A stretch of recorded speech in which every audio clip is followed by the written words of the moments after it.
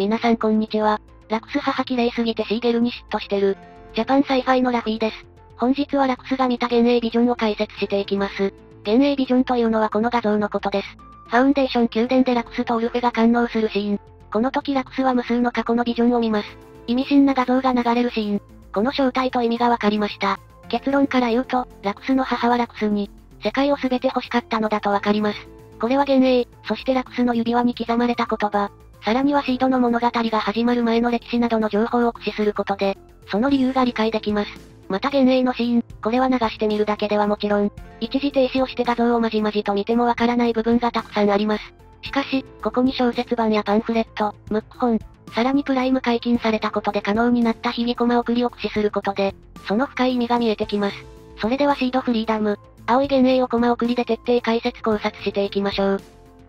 まずこれらを解説する上で必須となる情報。それはアウラの過去の話です。アウラはラクス母、響博士、さらにはデュランダル議長とも関わりがあった人物です。小説版で詳しく語られていたアウラの出自を再確認することで、ラクスの見た幻影をより深く紐解いていきましょう。まずはアウラとはどういう人物なのか、簡単なプロフィールをおさらいしていきましょう。アウラマハハイバル。彼女はファウンデーション王国の女帝です。大人びた話し方の反面、見た目は非常に幼く、その振る舞いが年齢をわからなくしています。それもそのはず、彼女は幼い見た目ではありますが、その実は成人女性だからです。ファウンデーション王国の女帝となる前、彼女はメンデルにて遺伝子研究を行っていました。その際の実験が起因してこのような幼い見た目となっていました。ファウンデーション王国の女帝となれたのは、全ハイバル帝が桃園の親戚だったことが小説版から推測できます。では裏はメンデルにてどのような研究を行っていたのか？それはまさに劇中にて登場するアコード、コーディネーターを超える種を生み出す研究でした。ライバルだった響博士と競い、より優れた人類を作り出そうとしていました。結果としてアウラはアコードと呼ばれる目標の精神に干渉でき、相手の心が読める卓越したコーディネーターを作り出すことに成功しました。また並行してデスティニープランや、後述するアンチエイジングの研究も行っていたことが、劇中や小説版でわかっています。ではなぜアウラはロリ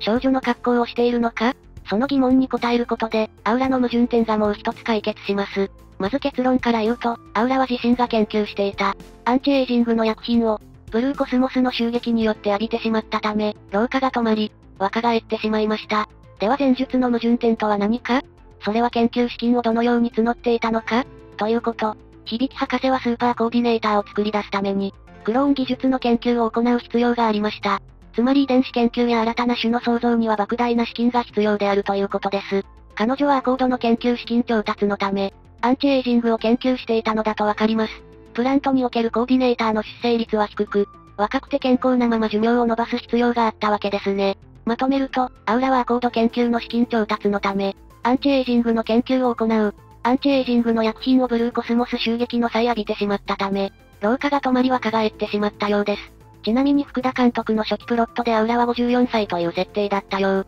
しかし公式による実際の年齢は明らかになっていないようです。また小説版によると、劇場版の姿、つまりコズミックイラ75における見た目になってからは若返りが止まったようで、これ以上若くなることはないようです。もう一つ補足を加えると、資金調達に関しては前述した当園である全ハイバル帝が、計画に賛同、援助したことが小説版にて明らかになっています。次に見ていくのは、ラクス母との関係。明確に示されていませんがアウラはラクス母とアコード研究を、共同で行っていたことが伺えます。同じ白衣を着たツーショットの写真があることから、少なからず二人ともメンデルにて遺伝子研究を行っており、アコードの研究に関与していたと推察できます。しかし、小説版における、生後間もなく母親によって連れ去られた彼女だが、と記述されているように、全く同一の意思、思想があったかどうかは不明です。次に見ていくのは、響博士とアウラの関係。響博士とアウラはお互い、より優れた人種を創造するため競い合っていたライバルであったことが、小説版では記載されています。また、響博士はアコードやデスティニープランに関しては否定的で、傲慢と一周していました。二人は対照的な思想を持っていました。響博士は小説版によると、自分の利益しか考えず、ひたすら自分の業績に没頭しとあるように、キャリアアップのため、できるからするという方向での倫理無視的な研究を行い、対してアウラは、人の高い能力は世界のために役立てるべき、という思想を持っていました。インサイド的かアウトサイド的かが対象となっています。いずれにせよエゴが強い思想という部分は近いですね。次に見ていくのは、デュランダル議長との関係です。デュランダルとアウラは他と同様メンデルの研究施設で出会いました。小説版によるとアウラは、デュランダルの構想するデスティニープランに感銘を受け、次第に同じ思想を描くようになったようです。おそらくアウラも最初は、純粋に遺伝子研究を行っていたが、デュランダルの思想の影響を受けるうちに、新たな種が世界を牽引し、デスティニープランを導くものへとなるように、という考えに変わっていったのだと推測できます。実際、デスティニープランとアコードはセットで、アウラの思い描く世界が完成することからそれが理解できます。しかし、ラクスの扱いに関しては、アウラとデュランダルで逆の考えを思い描いていたようで、デュランダルは本編でわかるようにラクスを切り捨て、そしてアウラはラクスとオルフェの二人で、デスティニープランを成就させる思いだったことが、小説版によって明らかになっています。ではここからラクスが見た幻影を一つずつ紐解いていきましょう。まず最初に映っているのは赤ちゃんが寝ている無菌室ですね。これは純粋にラクスやオルフェなどの、アコードが生まれたすぐ後の描写であると推察できます。ポッドは合計4つありますから、ラクス、オルフェ、シュラ、イングリッドで数が合います。次に映っているのは各親に抱かれた子供たちですね。右の二人はラクスの母、そしてシーゲルクラインで間違いないはずです。左下の金髪の女性と子供はアウラとオルフェでしょう。その上でヒゲのおじさんが抱いている二人の子供は髪の色から、シュラとイングリッドであると推察できます。そのため先ほどの無菌室ポッドも、それぞれ4人が寝ていたということで正しいはずです。そして奥のスーツの男性と女性が抱えている双子。これはキラとカガリを抱えているヤマト夫妻であると推察できます。シードにてカリダさんはピンクの毛布にくるまれたカガリ、白か青っぽい毛布にくるまれたキラを抱き抱えていました。この画像でも同様ですのでこの二人はキラとカガリで間違いないはずです。またこの画像から、なぜラクス母がラクスを連れ去ったのかがわかります。大前提、思想の違いや、自分で育てたいなどのシンプルな願いもあったはずですが、それよりもブルーコスモスの襲撃を予測していたのだと考えられます。コズミックイラ55、ブルーコスモスによってメンデルが襲撃される年です。そしてキラとラクスが生まれた年でもあります。そのためこの写真も同様にコズミックイラ55の彼らが生まれた後すぐ、彼女らが予測していたと考えられる理由は、ヤマト夫妻に抱えられたキラとカガリです。彼らは、襲撃を予測していた響博士の妻によって、ヤマト夫妻に預けられました。そのため生き延びることができたわけです。いずれも特別な情報を得られる立場とは考えられないため、同じく事前に察知し、ラクスを逃がすために連れ帰ったと推察できます。ちなみになぜメンデルが襲撃されたかというと、S2 型インフルエンザをきっかけに、ナチュラル、コーディネーターの関係が悪化し、インフルエンザの感染拡大によって各地で暴動が勃発していたためです。次に見ていくのは、ラクスとオルフェが手を繋いでいる写真。これはもちろん現実ではなく、過去の事実に紛れたオルフェの妄想でしょう。構図としてはシードのエンディングディスカンスに近いですね。これはあるはずだった未来。オルフェやアウラが思い描いていた本来の世界線の姿だったのでしょう。悲しくないかも？次に写っているのは研究者たちの顔。一番右の人物がヒビキ博士に酷似していることから、まだアウラとヒビキ博士の仲が良かった頃の写真だと推察できます。この後、デュランダルと出会うことで、アウラの考えが少しずつ変わっていくのでしょう。次に映るのはアウラとラクス母のツーショット。情報が少ないですが、よく見るとラクス母の表情が曇っているのが伺えます。このことから、時系列は不明ですが、アウラの思想根本やデュランダルのデスティニープランに対して、共同研究しているうちから疑念を持っていたのだと伺えます。次に映るのは実験に使用されると思わしきポット。これは一見アコード研究のポットにも考えられますが、よく見ると亀裂のような傷が入っているように伺えます。アウラはブルーコスモスの襲撃で、開発中の薬剤をまともに浴びたとされているので、この培養ポットに入っていた大量の薬品、これが銃撃によって割れ、全身から浴びてしまったのだと推察することができます。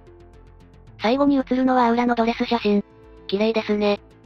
これらの情報から、ラクスの母がラクスに何を託したのか、どういう思いだったのかがわかります。まず、怪げな表情の写真から、アウラの研究のその先にある思想には賛同していなかったことがわかります。また、メンデルから連れ去ったことからわかるように、自身で育て、世界のためにオルフェと二人で世界を担わせることをしたくなかった、と推測できます。そして襲撃によって殺される危険性を察知していたとわかります。ではラクスにどのような人になって欲しかったのか結論から言うと、根本はアウラと同じで、世界を滑る人になって欲しくはあったのだと伺えます。その理由としてラクスが母からもらった指輪に刻まれた言葉があります。ここには小説版によると、世界はあなたのもの、あなたは世界のもの、この世に生まれ落ちた限りは、と書かれていることが明らかになっています。実際、映画のラストシーンで舞う指輪の刻印もよく見ると、文字が潰れていますが、近い意味である、The world is yours and you belong to, since you born into the world, と